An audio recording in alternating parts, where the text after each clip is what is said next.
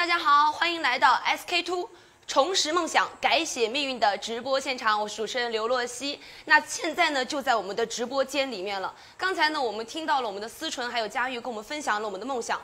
那接下来在我的这边就是两位非常重量级的嘉宾，然后要登场了。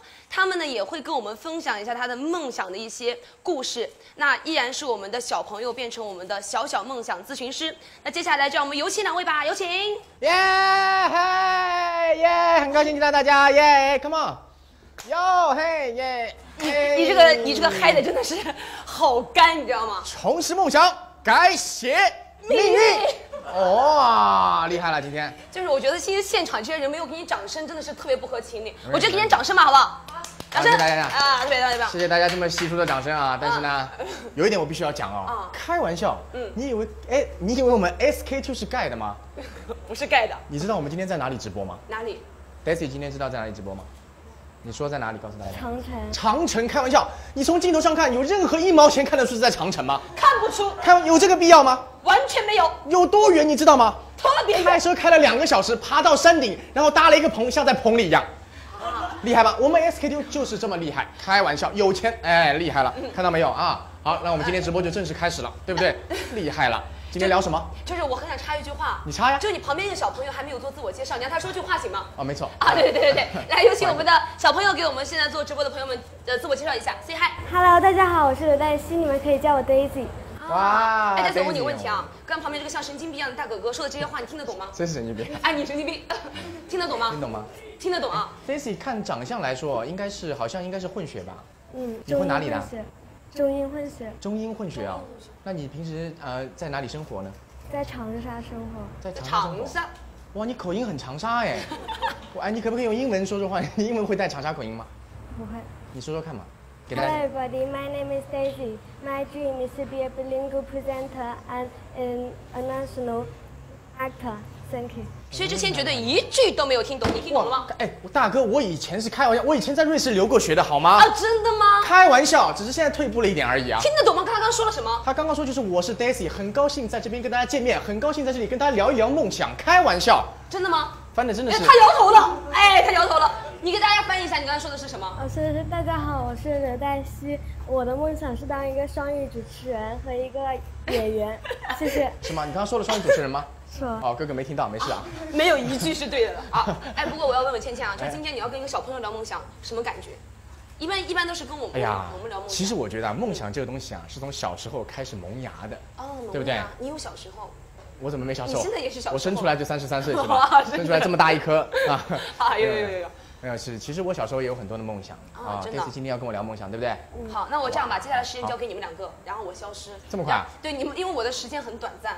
对我的生命很短的，结果刚才呢，就明明我只有一点点的时间，你还把我卡掉，所以没有办法，我要消失了。哦，啊好吧，好吧，好吧。所以现在就让你们俩聊我们俩聊的时候不需要你吗？啊，不需要，就只是你们俩在交换梦想的时间。哦。然后一会儿我会插入的。怎么会这样？啊，对，是这样的。是因为他的发型染的不好看吗？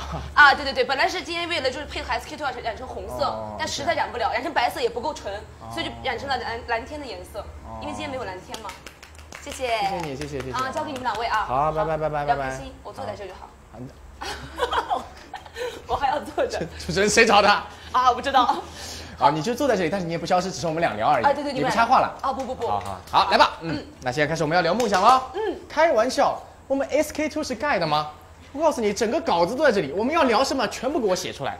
我第一次做节目哦，开玩笑，别人给我写好稿子，我现在就翻开念给你听，开玩笑厉害了。来，Daisy，你第一句你的，你先来，你先跟我说话。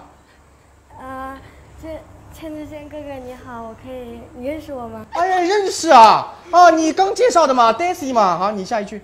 你看过《巴啦啦小魔仙》吗？看过什么小魔仙啊。你你看过什么？你大声一点。那你看过《巴啦啦小魔仙》吗？哦我是里面的小魔仙哦。哦，你你还模仿小魔仙亮相的动作里面行不行？你要模仿一下。我来教你可不可以？哦，可以教我来模仿小魔仙你。要站起来。好，我站起来。巴啦啦能量，这很适合你。这个手举起来。姑娘，叔叔年纪很大了。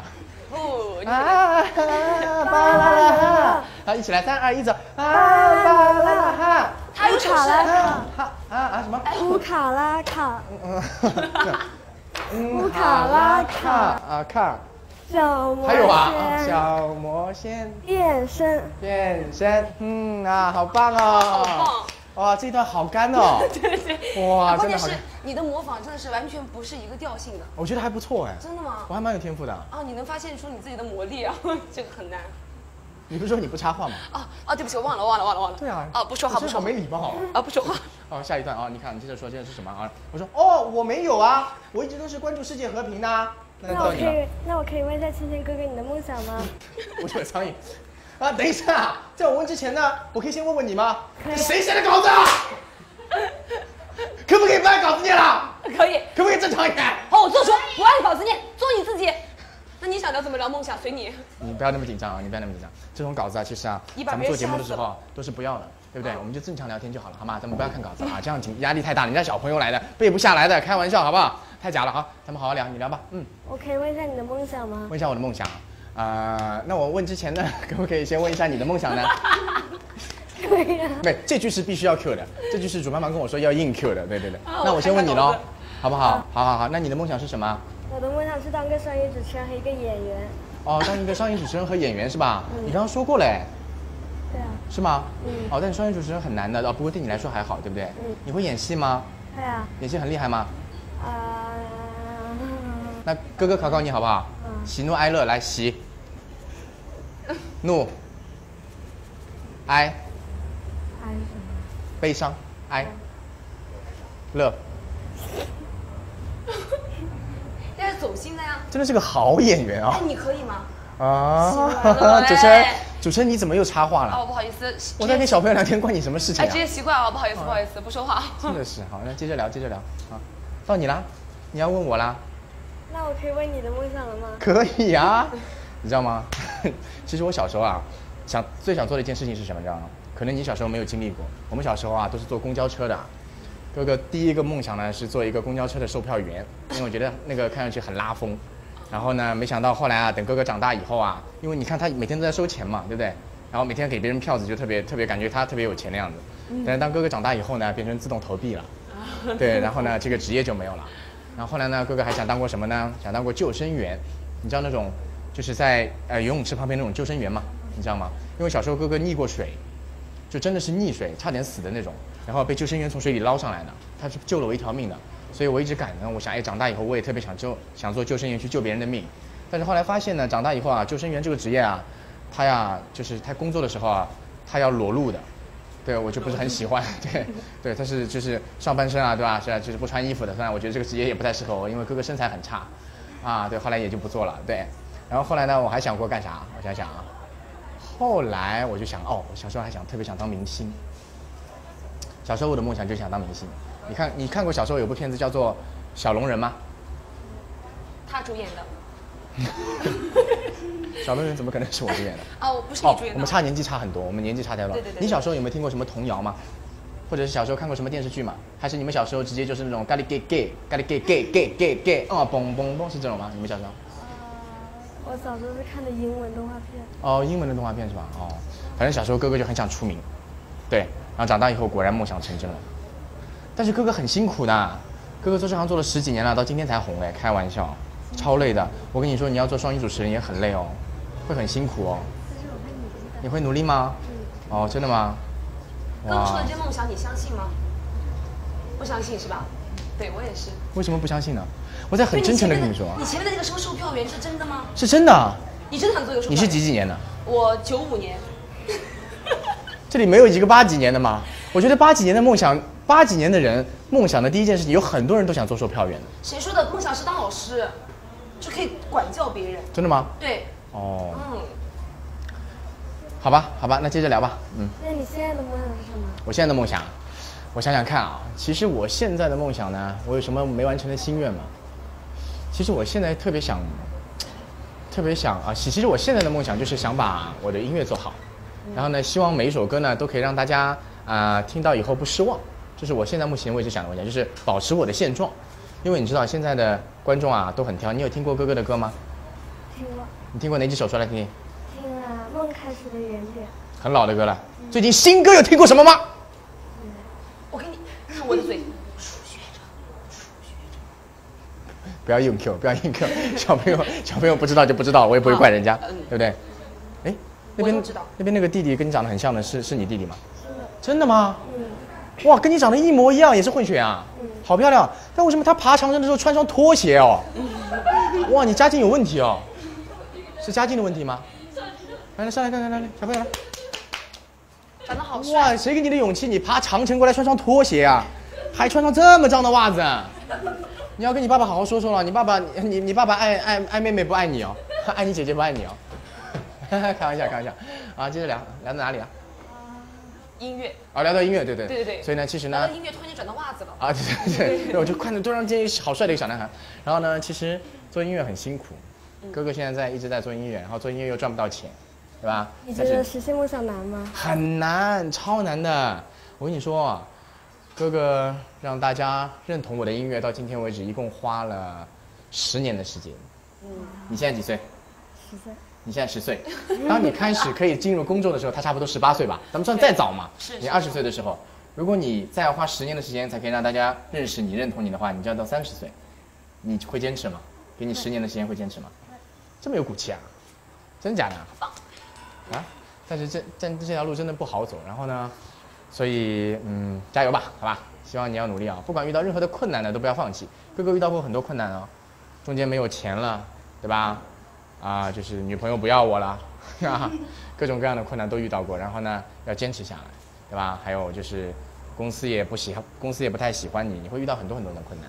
所以梦想最主要的一个事情呢，就是要坚持，好不好？就像我们今天的 SK two 一样，对不对？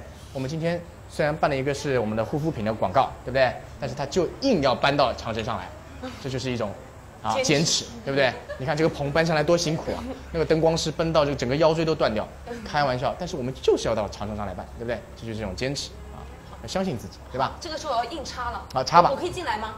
可以，我可以你进入到你们聊天内容吗？可以可以可以。但是我问一下你啊，你跟薛之谦哥哥聊完之后，你内你心累吗？心还挺累的吧？对，心好累，是不是？然后这么小就心累了。我想问，但你喜欢薛之谦哥哥吗？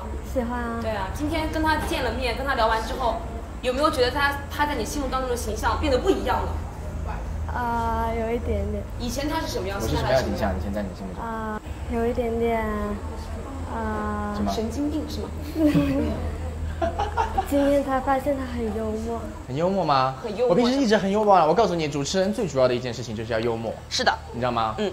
哇，你一定要学会这个，好不好？慢慢学，不急的。好，好的，那在这里呢，感谢我们的 Daisy，然后 Daisy 可以到下面稍微休息一下，因为你现在心也很累嘛，对吧？稍微缓一缓你比较疲惫的心，然后我现在要把你这个薛之谦哥哥单独聊一下，好不好？主持人你 Q 的再硬一点。对，特别硬，你知道吗？就是没有办法，我现你不按台本走，我得按台本走啊，我得把它给你 Q 下去。好好的，谢谢 Daisy，谢谢，对谢谢。对对对你可以下去一下，对，一会儿再上来啊。稍微休息一下，稍微休息啊，一下。你的你的麦麦，小心麦克。啊，小心小心。啊啊，现在就我跟你聊了。啊，啊，对对对，然后现在就是我来跟你聊梦想了，但是我决定我不聊吧，我还是得不看这台本。好，不看台本，来吧，怎么聊？我来问你啊，刚才跟小朋友聊完之后，心累不累？不累不累，他心很累，我特别喜欢跟小朋友聊。但是一直在你说，他连说话的机会都没有给他。没有，我一直在 Q 他，在让他说话呢。真的吗？对啊，嗯，然后很？可爱啊。但是你觉得这种小朋友的梦想，你觉得他真的可以坚持吗？可以啊，可以可以。对，我觉得嗯，每个人都有。其实我小时候就很喜欢音乐，嗯就很喜欢唱歌。就是每个人都有一件事情吧，是，就怎么说呢？就是干也可以，但是不干吧会后悔。就很想执对着。对对对对对。是但是呢，其实它并不是那么重要。嗯但是说实话，如果要靠自己梦想去吃饭的话，这件事情就就比较累了，就很累对吧？你就会给它挂上一个，就是很束缚，嗯就是不要，因为你要知道，其实工作啊每个人都是枯燥的。对都是重复的，对都是在不停的做一件可能自己相对来说不是那么喜欢做的事情。我打个比方，对，你说一个。有一个人啊、我的混音师，嗯他每天都在混音，他特别喜欢混音，他特别厉害。但是你当给他每多，当每天你都给他一首，当他生意很忙的时候，他会很的混音混得很麻木。对就他会觉得啊，好多好烂的歌都让他混，他觉得我不想干这行了，他会慢慢连喜欢音乐这件事情都失去了。所以其实我的建议是什么呢？啊、我们今天的我们今天主题是什么来着？对，你看啊，对吧？重拾梦想重拾梦想，改写命运改写命运嘛。嗯我觉得是这样子，在你有一定生活基础的情况下，嗯再去重拾梦想，改写命运，这件事情我觉得相对来说会比较合理。不要盲目的追寻命，追寻自己的梦想，这件事情是很劳财伤命的。所以说，在外人眼里面，你看你现在是综艺界的扛把子，对吧？综艺界你是特别厉害的，然后呃，微博段子界，那你是段子王了。哪里哪里哪里而且呢，你现在也有自己主持啊，或参与很多很多的综艺节目，哎呀然后还有自己的服装店，还有服装品牌，还有自己的火锅品牌。嗯这个算是在很多人的眼眼心目当中，我觉得都很羡慕你。哎，哪里哪里？但是你你刚刚说的这些啊，也真的是都是对的，都是这我就是这么厉害的。在这么多的选择里面，其实他们都是对你的这个歌手的这个梦想做一个铺垫的。嗯，如果没有这些铺垫的话，可能不是不是不是歌手的梦想做铺垫，应该说是嗯我所做的所有的事情都在为歌做歌手这件事情做铺垫。其实其实其实歌手是最后一件事情。那其实前两年我有淡出演艺圈，也不算淡出吧，反正生意也很少，也不出来。那我就是去做生意去赚钱了，这是一件必须要面对的事情。所以其实嗯啊、我觉得我觉得如果按照是我，我再重活一次的话，啊、让我回到最小时候的年纪的话，我会我会我会好好认真的去上课，我会我会真的，然后学一技之长，然后把自己的一技之长发挥的最强大。然后比如说，呃，打个比方，如果我是学酒店管理的，我就会真的好好的去学酒店管理，让我成为在酒店管理这个领域里面成为一个非常优秀的人，可以赚到很多的钱。在这个时候以后，我空余的时间就可以去追寻自己梦想。你理解我意思吗？就是不要去一股脑子的钻进去，因为那件事情真的会让你自己很辛苦。但是我觉得很多网友啊，包括我自己，其实我都有一个疑问。你看，你算是在我们生活当中，我们对于梦想坚持这个，一说到梦想坚坚持梦想，就会想到你，真的是会直接想到你的。但是我们有的时候就会反问自己一句：呃梦想的这个存在到底是一个什么样的意义？对我有的时候在想，哦，每个人现在都在讲梦想，然后呢，我也有很多很多梦想，然后我也有在去实现，但是他们它存在的意义到底是什么？我觉得存在意义啊。是没有不会不会一点都不难。我觉得我觉得存在的意义就是，它必须，我觉得啊，我觉得梦想这个事情要要要比较干净，嗯，要比较干净，要比较，嗯、就是干净，不要让它有任何的杂念。对对对对，就是我打个比方，有很多人为了自己的理想去做了一些出卖自己的事情，嗯，或者是去交换什么东西，你懂吗？啊就是就是那是我特别懂觉得没有必要的一件事情。我觉得，嗯，理想跟生活要分开，所以这也是你的准则。准则，你出道。十二年了，嗯这十二年你一直在，我觉得就是你刚刚说的，你一直在很纯粹的做自己想做的事情。嗯但是在这当中，我们网友们大家都，包括我自己，我也知道你很多有很多的困难在这生活当中。嗯就是你面对梦想当中有些挫折的时候，你是怎么做的？就是自己硬扛嘛，还是干怎么样？自己硬扛嘛。其实我给你打个比方，嗯其实在我落魄的时候，我有我也有很多有有机会的歪门邪道可以走，有很多。就比如说有一个老板看上你了，对吧？就是想跟你怎么怎么样，然后给你什么什么什么。对，那么这我觉得这是一个非常正常的会遇到的事情。对，但是其实那些事情是不能做的。我告诉你为什么？因为圈子里口碑就是这样的。你只要做过一件相对来说不是太好的事情，所有人都知道，而且那种红嗯，昙花一现。你能明白我说什么？就是所以，我觉得人生如果面对梦想的话，最主要的一件事情就是脚踏实地，一步一个脚印。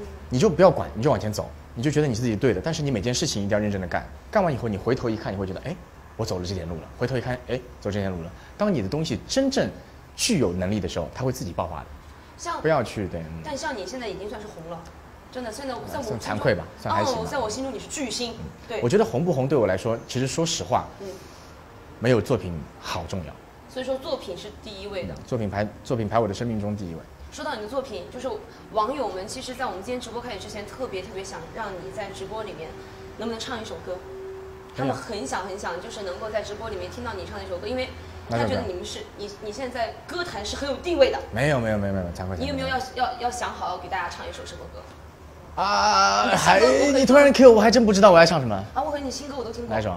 嗯，初学者。我跟你讲，初学者不是我不愿意唱，嗯是因为他现场没法唱。认真的啊，他好干，你懂吗？就是他必须要伴奏的。你想，你看，认真的啊，初学者啊，你不及格，你不觉得我一唱好好，天哪，我就很干嘛？就是，但这个跟我在那个，他必须要有伴奏，咚叽嘎叽嘎，他就鼓进来的你，知道跟我在耳机里面听的很还是很贴近的。还贴近吗？对，我是我是你的迷妹。我唱成这样了，你都觉得？还是唱的很好，真的。我觉得弹幕上现在肯定在看直播的所有人肯定都是没有。因为他有一些歌，他真的必须要有那个 beats 节奏在，他才他才能。你新出的这些歌里面，你最喜欢哪一首？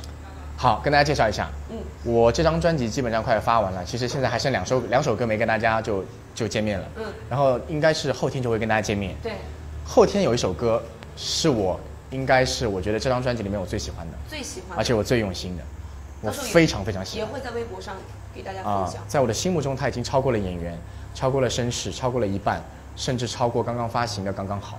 哇，这么这么厉害我！在我的心目中，他是比他们都要强的，所以我很期待我把它放在最后一波打。所以过两天，请大家一定要关注这首新歌，是我是我的生活的很重要的一部分的写照。对，哦，好的好的，那我们两天之后在你微博见，然后到到你微博去围观，可以没问题没问题嗯，今天说大了大，家在边听的时候也可以边用一点 SK two 啊啊好是对对啊对对对对，特别特别棒嗯对皮肤特别好，对嗯对的没事的时候爬爬长城，对对对，嗯 什么年纪都可以适用。好，我接下来我我现在就是，呃，因为我们直播做了这么长时间，其实刚才我们有有很多的直播在做嘛，弹幕上可以看到有非常非常多的网友都特别爱你。哦就今天在我们的整个直播快结束的这个尾声的时候，有没有什么要给你网友说的一些鼓励的话？好包括一些分享一些感悟。现在是你的专场，please。感悟就是啊嗯啥啥啊，现在先感悟是吧？好，感悟，那现在感悟啊，我 旁边有人 Q 我，啊，不是我的事情。然后呢，感悟就是其实啊，每个人都有生活中都有遗憾嘛。其实如果我今天啊，其实说实话，薛之谦今天能站回这个舞台跟大家见面，通过音乐的方式，我也觉得很很奇特，因为我其实没有觉得我自己有一天才能翻红，所以我觉得嗯啊，每个人生活中都有遗憾。如果有一天你很安静的躺在家里面，回想起来你有一件事情没干，但是你非常想干的话，请千万不要犹豫，就去干。啊、但是干的同时一定要记住，不要给他任何的压力。嗯，先让自己的生活变得啊很充裕，啊很很至少至少很富裕，啊有空余的时间，然后就去尽量的追求自己的梦想，因为人生呐、错过了一个阶段以后呢，他就再也回不来了。所以理想这个东西呢，我觉得人一定要有个理想，有一个梦想来支撑你整个人生的精神，它会让你变得整个人很开心、很专注，呃，非常的呃，可以看向远方，不会像不会不会被生活糟蹋的体无完肤。所以呢，希望大家有理想呢，一定要去追寻。谢谢大家。好的啦，谢谢谢谢芊芊。啊，我你不要以为我问完了。记得刚才我们在我们的实时现场互动的时候，我们也是征集到了很多网友实时现场的一些问题，然后我帮网友问一下你好不好？嗯，好，有请我们我们的问题板。耶、这些问题啊，网友问的比我问的有意思，我觉得。啊，你不要看啊，不要看，哦不要看啊啊，网友看一下啊。好了，呃，现在先是网友实时提问的阶段。说实话，SK two 有找你写段子吗？找你写的话，你打算怎么写？说实话，找了没？没有，呵，怎么会不找？因为我来现场了，哦，对吧？这不是一样的吗？但是如果他今天要找你再写个段子的话，你要怎么写？肯定没问题啊。肯定跟长城有关那倒不一定。啊，真对的。，其实啊，我不管是 SK two 来找我，SK 差点说成 SK three。SK 那这 SK two 来找我也好，其他的品牌来找我也好，其实我每个段子都给别人很用心、很用心的写。看出来我不是一个就是比如说收了别人钱以后会给别人乱来的人，就是我希望反正反正给人干活嘛，有收人钱钱财就替人消灾的人。所以 SK two 哎 SK two，所以 SK two 尽量来找我吧。就找你写段子，你要，哎，你的每一个段子的那种想法是从哪来的呀？我有的时候，我有一天晚上看完你的段子，很难写的我跟你讲，我看完你段子，我在想，如果是我，我要怎么写？我觉得很难呢。就你能把这些，而且我们现在我们周围的所有的朋友都有一个习惯，看你的段子，先翻到最后广告是什么，然后再从翻到最前面，从头看一遍。这样很无聊啊。但是但是我们都想知道你最后会转转到哪一个地方去。对，因为我现在大概每次写一个段子，基本上要花掉我三个小时左右。以前我写一个段子只要半个小时、一个小时，但是我后来越写越认真。哦，因为因为观众对你的期待是越来越高的，你只要写不过前面，写不过前面，你就会流失掉很多的客源，嗯，啊不是客源，就是就是观众，你懂我意思吗？所以我是一个在这方面特别用心的人，对，所以我也希望，哎，反正就是个个人个人脾气啊改不掉了，不管是做音乐还是做什么的，都稍微认真一点。所以我就希望 SK two 赶快找我们今天写段子，耶写段子耶，肯定卖更好卖，更好卖，更好卖。好好，第二个问题。薛之谦谦想问问你怎么看待梦想和现实的区别？呃，嗯，梦想和现实、啊。对对对，梦想和现实的区别。啊、哎呀，一个很残酷嘛，一个就特别的，哎呀，怎么说呢？梦想和现一个实的区别在梦里，一个是醒了。我觉得梦想一定要在现实的后面嘛。嗯我我反正是这么做的，因为我觉得好累哦。你把我之前我在十我在二十几岁出道的时候，我发现我把梦想放在很前面，我我让自己变得特别的累，我什么都要听别人的。被我我有的时候觉得一首歌特别的难听，但是我老板一定要叫我唱，我就得唱。然后我我明明知道这首歌唱完以后我会变得口碑特别的差，但是我还是得唱，那是很痛苦的，因为那跟我的梦想其实是无关的，但是我又干了一件跟梦想有关的事情，很痛苦。所以我就觉得后来，反正我通过各种渠道，先让自己的生活变好了以后，我就慢慢的会会好很多。这件事情我觉得不敢说让大家学习来，让大家借鉴一下，对的，就就是曲线救国吧。好的，好，谢谢谢芊芊今天在现场跟我们分享了她的梦想。那接下来我要把我们小朋友请上来了，哦对吧？请上来山明在台下休息了一下，他心很累嘛 Daisy 他就休息了一下。来，Daisy，Daisy 回来回来。啊，但是为什么今天要戴个帽子啊？因为头发有点乱。我可以把你的帽子拿掉吗？不能，这么小就有偶像包袱，厉害了！长大真的是厉害的双语主持，开玩笑。那必须的。哎，Daisy，我问一下，刚才听了青青哥哥在上面的一些发言，包括对自己梦想的一些感受，你觉得他讲的好不好？他刚刚根本就没听，听了吗？他去上厕所了。